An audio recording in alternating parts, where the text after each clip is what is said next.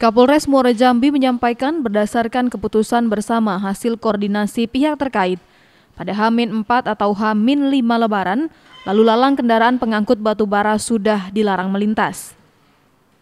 Keputusan ini dilakukan dengan tujuan meminimalisir terjadinya kemacetan di sepanjang jalur mudik lebaran yang melintasi wilayah Kabupaten Muara Jambi.